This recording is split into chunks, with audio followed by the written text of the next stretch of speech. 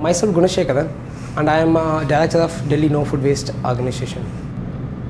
India is a fast growing country but still in India there's a lot of people dying hunger.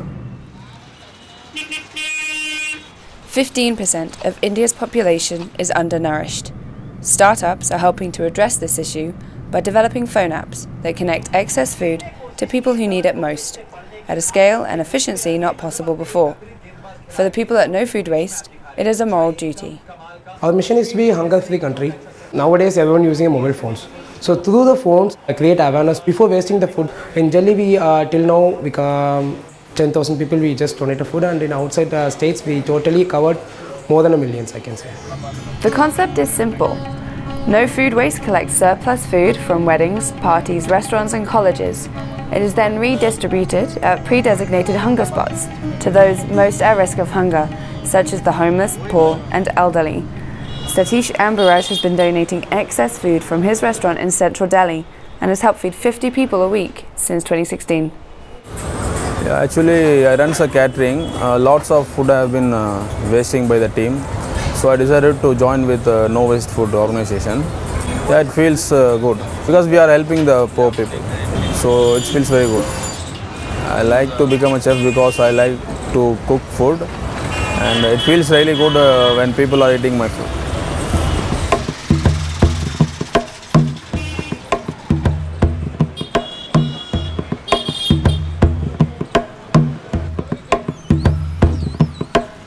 Almost as important as the donors, volunteers help deliver and distribute the food. Volunteers like Vijay, an engineering student. I have a food, but why they uh, don't have a food? I want to give food to them. For example, uh, when we are going to give a food to uh, some people, they will like, uh, they will really excited. Uh, we also excited for them. Without the ability to refrigerate or store the donations, the food can't travel far in Delhi's midday heat. Now it is a race against the clock to get the meal to the closest hunger spot. It is here, in an ashram in central Delhi, that spicy rice, which would have otherwise gone to waste, will be served for lunch.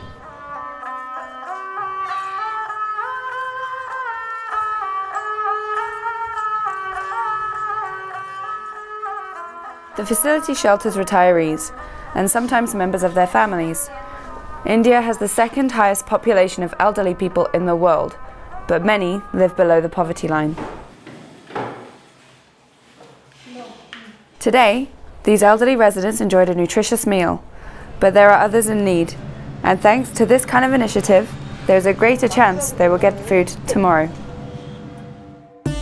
For me, equality is very important to everyone. Every day I'm getting a food and drink for me. I wish to my fellow citizens also getting the same thing. So here nobody is uh, big and nobody is small. Everyone is equal.